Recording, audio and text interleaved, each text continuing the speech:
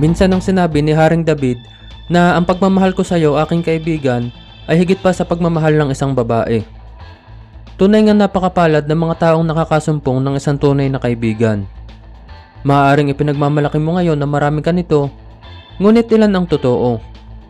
Hanggang saan kanila dadamayan? Hanggang may pakinabang ba sila sa iyo? Halika't magbalik tanaw tayo sa kwento ng taong nakasumpong ng paghanga sa kagalingan ng iba at naging daan ng pagkakahulog ng loob nito bilang kaibigan at bilang isang tunay na magkaibigan. Walang iwanan sa hirap at sa tagumpay.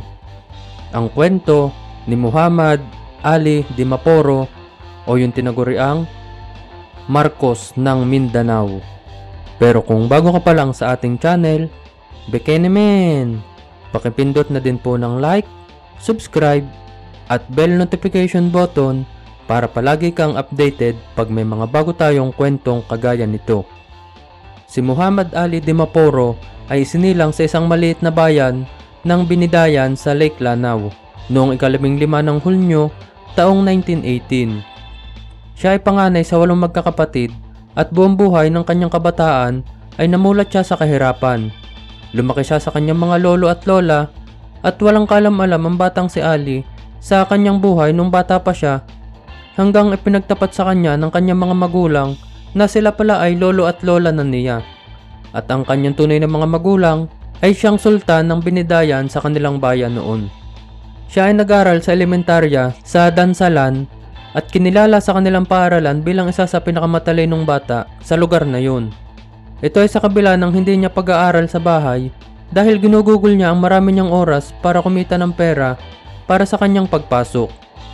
Kapag Sabado't Linggo o kaya ay araw ng mga walang pasok, nagtitinda siya ng mga prutas at gulay, pati asin at asukal ay nilalako niya para lang masuportahan ang kanyang pag-aaral. At minsan pa ngang muntik na siyang mamatay nang mahulog siya sa puno habang nangunguha ng prutas para ibenta. Dahil sa kanyang pagsisikap at taglay na talino, tinapos niya ng limang taon lamang ang kursong pampitong taon dapat. Dahil dalawang beses siyang na-accelerate na noong mga panahong yon ang mga matatalinong estudyante pag nakitaan ng potensyal at advance ang pag-iisip ay naiaangat na kaagad ng kurikulum. Nag-aral siya sa University of the Philippines ng Bachelor of Law at nakagraduate siya dito noong taong 1938. Pero nung ding mga panahong yun, Merong kakatuwang pangyayari ang naganap habang nagre-review sila para sa 1939 bar exam. Meron silang kapwa estudyante sa school na inaresto ng mga otoridad habang nagre-review para sa kasong murder na binibintang sa kanya. Pero sa panahon ng pag-uusig, hindi kumuha ng abogado ang batang estudyante at ipinagtanggol ang sarili ng mag-isa sa korte. Gamit lang ang kanyang limitadong kaalaman at natutunan sa batas, gayong estudyante pa nga lang sila. Sa panahon ng paglilitis, siya ang tumayong abogado para sa sarili niya habang siya na rin ang akusado.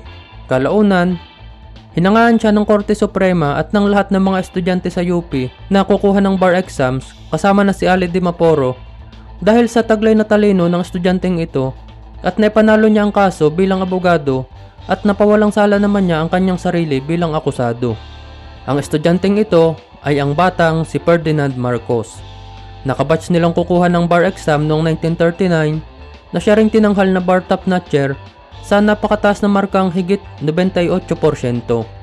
Dito nagsimulang humanga ng sobra si Ali Dimaporo kay Ferdinand Marcos at talaga namang inidulo niya ito at sino mag-aakalang hahantong sa napakalalim na ugnayan ang paghangang iyon pagkalipas ng sandaling panahon. Pero kasabay nun, ang biglang pagputok ng digmaan sa bansa at ang kapalaran nila ay biglang nagbago sa isang iglap lang. Pumasok sa hukbong sandatahan si Ali Dimaporo at naging 3rd lieutenant noong ikatatlumpung ng Oktubre taong 1941. Napasama siya sa 101st Infantry Division at ang unit nila ay naatasang magtanggol sa buong Mindanao at Sulu. Nagkaroon ng matinding labanan sa Davao at naipadala silang lahat doon para dumipensa laban sa mga Hapon. Ngunit napakalakas ng hukbo ng mga ito at hindi nga nagtagal bumagsak ang Davao sa kamay ng mga kalaban. Kalat-kalat na umatras sila patungo sa bukid noon upang doon muling mag-assemble at ihanda ang mga sarili nila sa laban sa susunod na mga araw. Dito siya naatasan ng USAFE o United States Armed Forces in the Far East na bumuo ng grupo kasama ang iilang mga nakaligtas sa labanan sa Davao. Tinipon ni Aled Dimaporo ang pinakamatitikas na mga mandirigmang maranaw na meron sila noon. Armado lang na malalaking bolo at homemade na armas, tinawag niya ang kanilang grupo bilang Bolo Batalyon. Ang kanilang misyon ay guluhin at bulabugin ang mga Hapon na kumubkob sa Davao habang hinihintay ng mga Amerikano ang backup na pwersa nilang paparating para sa isa namang pag-counter-attack para bawiin ang Davao. Pero sa kasamaang palad, naunahan na naman sila ng mga Hapon dahil noong ika-27 ng Abril taong 1942, lalong lumakas ang pwersa ng mga ito nang lumanding sa baybayin ng Cotabato ang napakaraming bilang ng mga kagamitan at napakalaking hukbo ng Japanese Imperial Army. Binaybay nila ang bahagi ng Parang at Malabang patungong Lake Lanao at sinasakop nila ang lahat ng madaraanan. Walang kalaban-laban ang Bolo Batalyon ni Ale de Maporo ni hindi man lang nila magawang pabagalin man lang ang pag-abante ng puwersa ng mga kalaban. Pero sa muli nilang pagtakas, napromote pa siya sa ranggong First Lieutenant matapos niyang iligtas ang buhay ng isang opisyal na Amerikano. Ika-27 ng Mayo sa kaparehong taon, walang magawa ang Allied Forces at ipinag-utos ni General Jonathan Wainwright na sumuko na silang lahat dahil mauubos silang lahat at walang kalaban-laban sa mga Hapon. Maraming mga Pilipino ang patuloy na namundok dahil ayaw nilang magpahuli sa kalaban. Samantalang si First Lieutenant Ali Di Maporo ay matapat na sinunod ang order sa kanya ng general at mabigat man sa kalooban niya, isa siya sa mga sumuko. Dinala sila at ikinulong sa concentration camp sa Camp Kately na nasa Marawi. Pero ilang buwan lang, napalaya kaagad si Ali Di Maporo sa kondisyong tutulungan niya ang mga Hapon na pasukuin ang dalawang mataas na opisyal na Muslim ng Yosape na sina Captain Mamarinta Lau at si Major Manalaw Mindalano. Binigyan pa siya ng mga Hapon ng 30 rifle at sasakyan gamit sa pagpapatrol nila. Tinulungan din niya ang mga ito na ipalaganap ang mga propaganda nila na nakapaloob sa Greater East Asia Co-Prosperity Spear upang makuha ang simpatsya ng mga tao.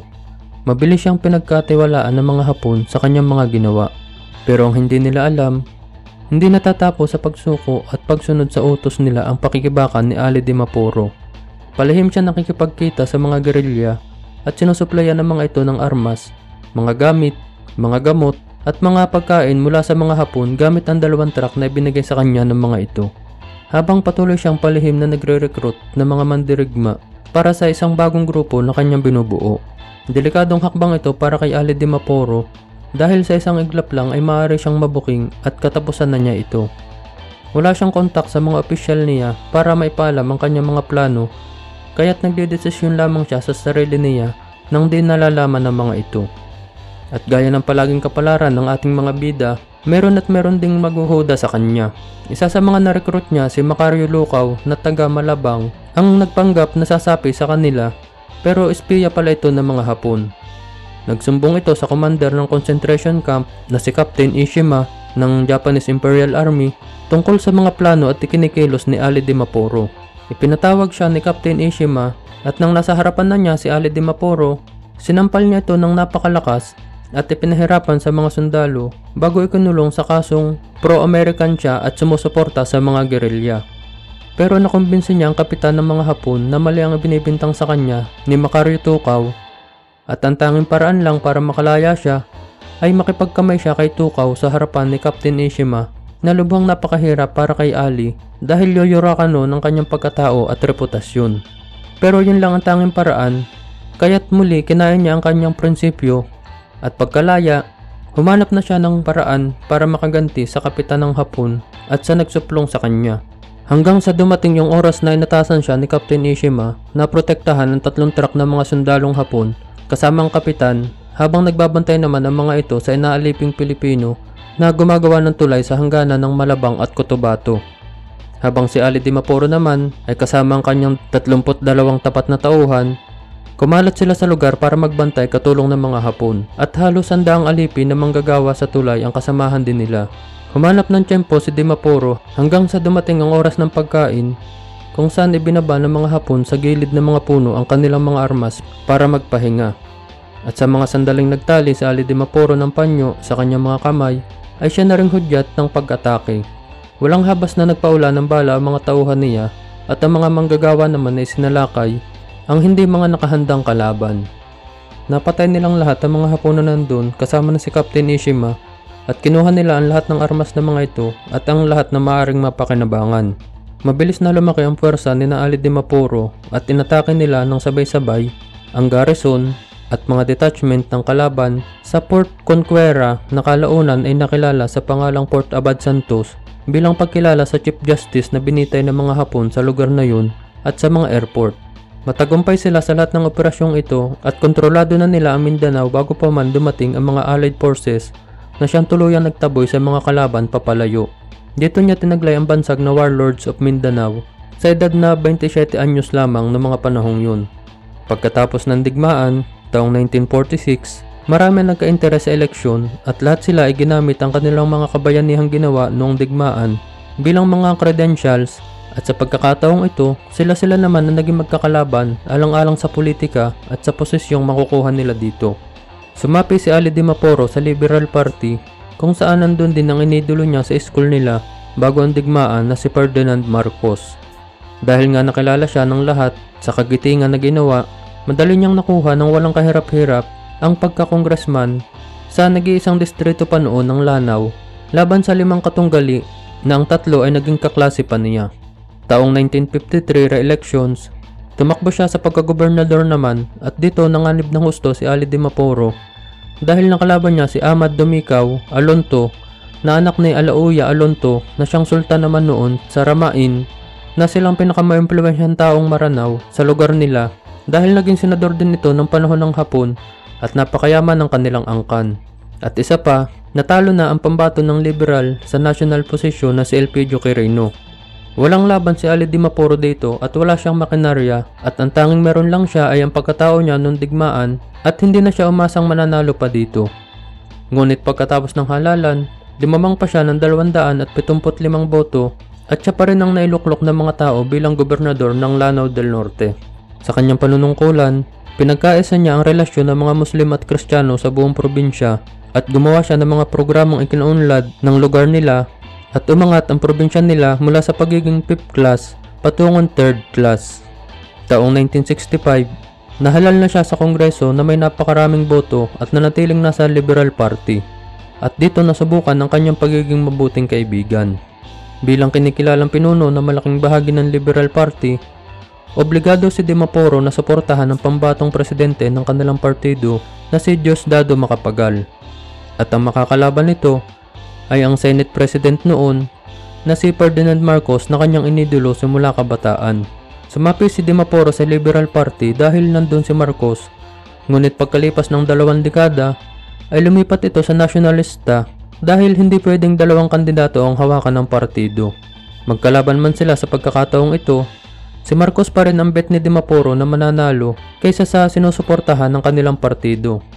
Sa katunayan, palihim niyang inimbita si Marcos sa Iligan at dito pinakilala niya sa mga mamamayan na ang taong kasama niya ang susunod na magiging Pangulo ng Pilipinas.